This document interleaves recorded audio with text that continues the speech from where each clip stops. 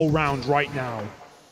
They're holding it from tempo, but Utah falls oh. down, just gets the gun back out in time. It's only Buzz left standing against Heroic.